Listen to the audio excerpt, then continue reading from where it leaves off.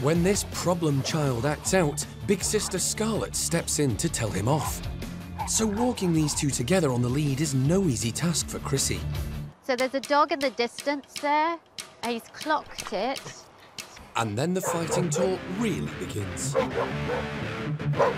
And as Tyson starts redirecting his frustration towards Scarlet, Victoria becomes increasingly concerned.